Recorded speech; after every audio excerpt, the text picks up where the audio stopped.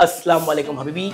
Nadeem मिमन from landmark Reddy हमारी तरफ़ से, हमारी टीम की तरफ़ से आप सभी को ईद उल अदा की बहुत बहुत मुबारकबाद। हमारे पास जो प्रॉपर्टी है from Mumbra station to Shilphata अलग अलग वेरिएंट्स में है। अब मेरे पास एक न्यू प्रॉपर्टीज़ आई है, जो नियर टू पोजीशन है थर्टी थ्री लैख से वन बी के स्टार्ट होता है, जो मार्केट में सबसे चैलेंजिंग रेट है और ये नियर टू पोजिशन है। ज़्यादा जानकारी के लिए इस नंबर पर कॉल करें कॉल बिज़ी आए तो क्या करना है पता है आपको? व्हाट्सअप करें। देवेंद्र फडणवीस का गलो गुट बन चुका है। चंद्रकांत पाटिल जो है, विनोद तावड़े का समर्थन कर रहे हैं। मुंगंटीवार भी चंद्रकांत विनोद तावड़े का समर्थन कर रहे हैं। इसको लेकर आपकी क्या राय? क्योंकि जिस तरीके से लोकसभा में भारतीय जनता पार्टी को जो निराशा का सामना करना पड़े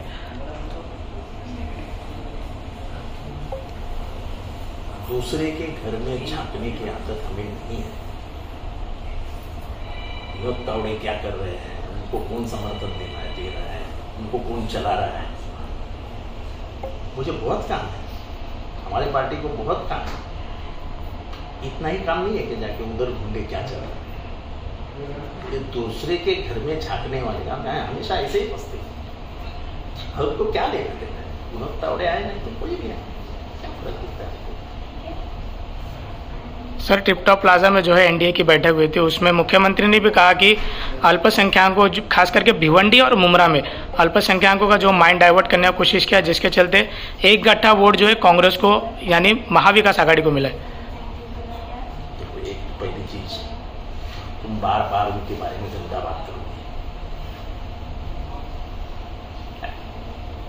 ऐसा दिखा दोगे कि वो इस देश के नागरिक नहीं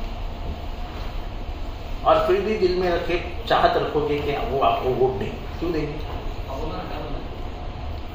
और चलो मुमरा और भिवंडी, चलो, मान लिया उमरा से तो श्रीकांत शिंदे जीते कल्याणपुर मतदार संघ से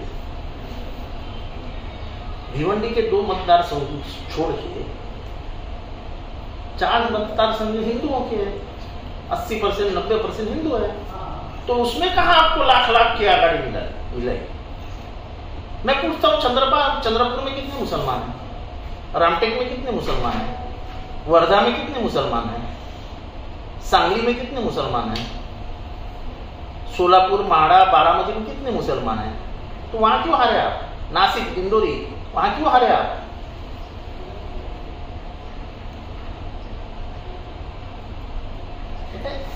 कोई भी ये नरेटिव जो आप सोल्ट कर रहे हैं ना वो ही नरेटिव आपके अंग पे जाता है? फिर बोलते हैं नरेटिव विनोदों ने सेट किया।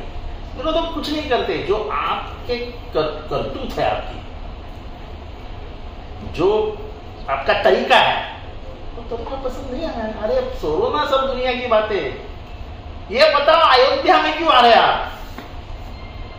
जहाँ पे राम मंदिर आप लेके आए वहाँ क्यों हारे और वो भी एक ओपन जगह पे शेड्यूल कास्ट यानी दलित आदमी चुन के आया। इसके बारे में बात करो ना।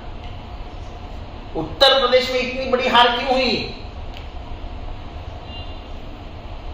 आपको पूरे भारत में जो हार 240 पे आए ना आप। तो इसका मतलब यह है कि हिंदुओं ने इनकार किया आपको वोट देने से। ये क्यों नहीं खुले दिल से बताते कि हमारे स्वभाव में, हमारे करतूत में हमको सुधार लाना पड़ेगा। हमसे हिंदू ही नाराज़ है। बंद रूम में कोई बिल्ली को भी मारता है ना, जब उसको दिखता है कि मुझे भागने का कोई अवसर नहीं है, कहीं भी जगह नहीं दिख रही है तो मारने वाले के ऊपर वो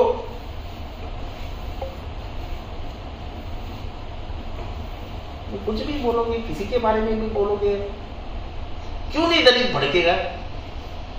तुम्हारे बयालीस खासदार बोले कि हम संविधान बदल देंगे। उसके बाद तुम्हारा मिनिस्टर बोलता है, यहाँ का एजुकेशन मिनिस्टर कि हम मनुस्मृति के श्लोक ला रहे जिस मनुस्मृति को बाबा साहब अंबेडकर ने जलाया था। कहा था कि यही उगम स्थान है जातिवाद का। उसको फिर से तुम नाम लेके आ रहे किताब में। शर्म भी नहीं आती। और आज तक जिस आदमी जो आदमी बोला, वो आदमी अब तक नहीं खोला कि मैं नहीं लाऊँगा करके। वो यहाँ का एजुकेशन मिनिस्टर है। अभी एनसीआरटी किताब की बात लो, मुगल का इतिहास हटा देंगे। यहाँ पे जितना भी आंदोलन हुआ, वो हटा देंगे। और कई बातें कही है जो हमने हटा देंगे मेरा एक साधा सवाल है, मुगल का इतिहास हटा दो। तो शिवाजी महाराज किसके साथ लड़े?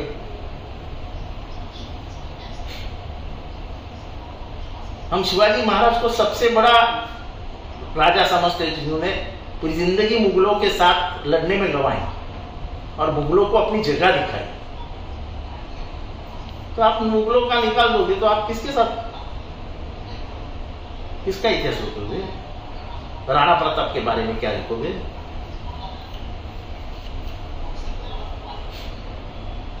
इतिहास से कुछ सीखना है और आगे के रास्ते दिखते उससे। इतिहास कोई ऐसा दुनिया चाहेगी कि हिटलर को भूल जाओ कोई भूलेगा? जब तक दुनिया जिंदी ज़िंदा है, ये दुनिया जब तक है, आखिरत तक, तब तक हिटलर को कोई नहीं भूलेगा। जो उसने मानव का विनाश किया, सर्वनाश किया, कोई भूल सकता है क्या?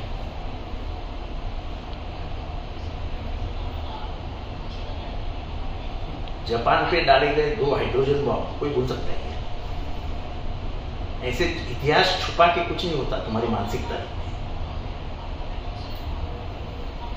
कौन एकेडमिशियन है जो ऐसे, ऐसी बातें कर रहे हैं?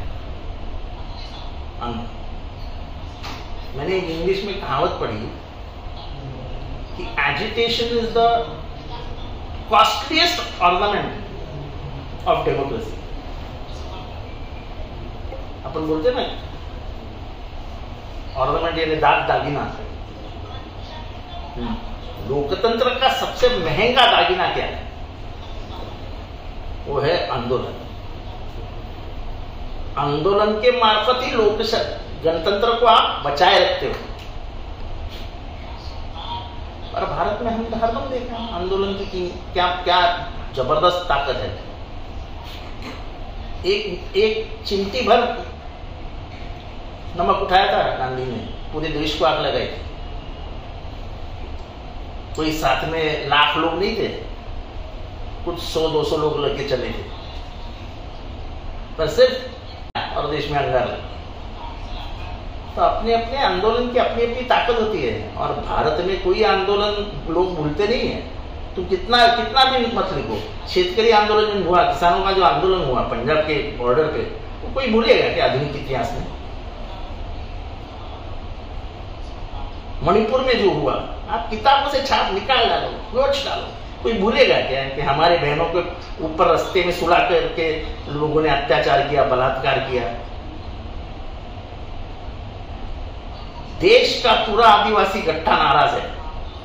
क्या आपको लगता है, ये बोलते हैं इसलिए। लेकिन देश का पूरा आदिवासी नाराज़ है।